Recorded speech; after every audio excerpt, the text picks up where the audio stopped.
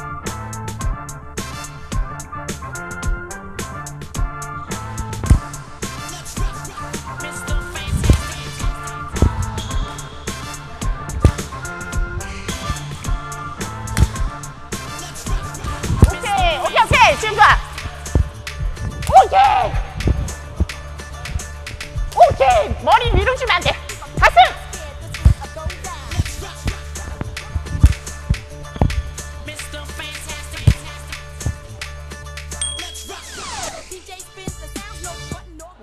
안녕하세요. 이종분 코치입니다.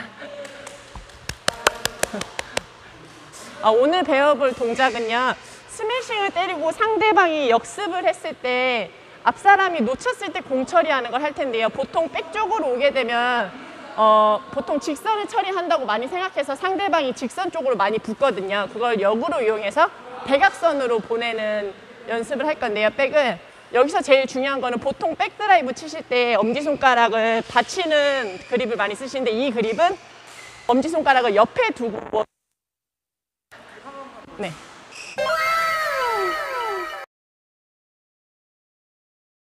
옆에 두고 사용할 거고요.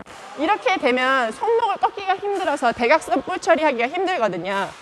이렇게 두면 벌써 손목이 안쪽으로 감겨져 있기 때문에 스윙을 하기만 하면 그냥 공이 가는 볼이 오는 결대로 치기만 하면 대각으로 가는데 이미 각을 잡아놓고 스윙만 하시면은 공이 대각선으로 떨어지게 되거든요. 그리고 대각선으로 보내신다고 해서 살살 치시지 마시고 어, 공을 빨리 떨어뜨린다 생각하시고 스윙을 빨리 하셔도 공이 그렇게 길게 가지 않아요. 스핀을 먹고 오히려 중간에 뚝 떨어지기 때문에 상대방이 더 처리하기가 힘들거든요. 천천히 치면은 벌써 이미 다 아프고 있는 상태에서 푸시를 당할 수 있기 때문에 푸시를 당하지 않기 위해서 오히려 더 저희는 빨리 떨어뜨리는 셔틀콕을 칠 거예요.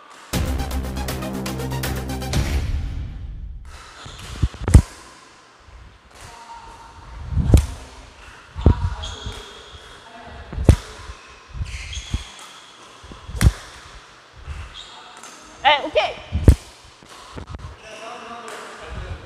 오케이, 오케이, 오케이. 지금 좋아. 오케이. 오케이. 머리 위로 주면 안 돼. 가슴.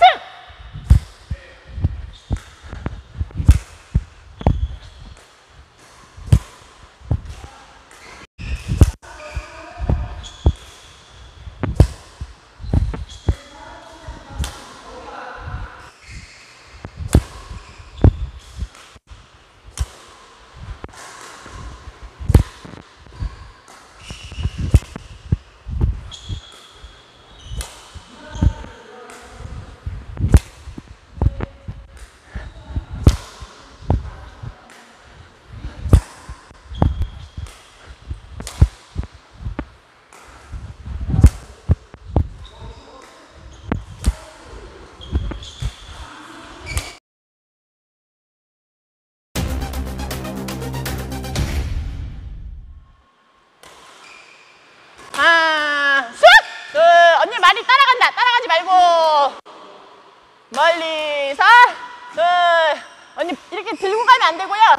팔을 그냥 가슴에 붙이고 갔다가 치는 순간에 펴야 돼요. 들고 가면 안 되고 그냥 하나, 이렇게 가야지. 팔꿈치 들지 말고. 하나, 둘. 얘를 할 때도 준비를 하고 가는 거예요. 준비, 준비, 준비, 치기. 네, 준비를 하고 가야 돼. 하나, 둘, 준비하고 갔다가, 하나, 공이 안 오잖아요. 안 오는데 언니가 미리 가갖고 피지 말고, 치기 전까지는 그냥 피지 말고 계속 가다가 칠 때 한 번만 펴야 되는데, 어, 근데 언니는 미리 가갖고, 이렇게 펴놓은 다음에 맞추려고 그러니까 안 맞아. 그냥 갔다가 칠 때 한 번만 펴야지. 하나, 둘, 어, 네, 그렇지. 네트에 걸리려고 쳐. 자꾸 넘기려고 하니까 공 뜨니까 걸린다고 해. 하나, 둘, 언니 팔 기다려야지. 팔 기다리고 기다리고 한 번만. 하나, 둘, 또만 또 스윙 먼저 하자. 먼저 하면 안 돼. 하나, 기다렸다. 언니 이렇게 가면 안 되고 팔꿈치는 내려도 손목은 세워서 가야 돼요. 손목 내리지 말고 세워서 가요. 그래야 밑에 것도 다 살릴 수 있어. 네, 미리 스윙 하지 말고 계속 치기 전까지는 그냥 가슴 쪽에 붙이고 있다. 가, 칠 때만. 네, 그렇죠. 네, 계속 기다려도 돼요. 하나, 둘, 둘. 하나, 둘, 둘. 오케이! 하나, 둘, 둘. 하나, 둘, 둘. 오케이! 하나, 둘, 둘. 하나, 둘, 둘. 더 세게 치자! 하나, 둘, 둘. 오케이! 어, 괜찮아. 지금 좋아! 둘, 쓱! 둘, 오케이! 하나, 둘, 싹! 그렇지! 더 때려! 하나, 둘, 둘. 거기서 때려! 오케이! 하나, 때려! 하나, 때려! 하나, 때려! 더, 또 안 때리면 뜬다! 에, 때려! 안 때리면 떠!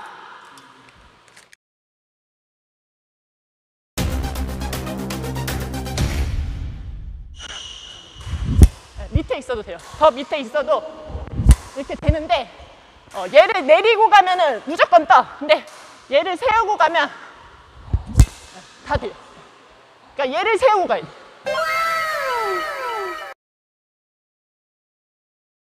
공이 아무리 높게 와도 얘로 치니까 이렇게 가. 네, 감사합니다.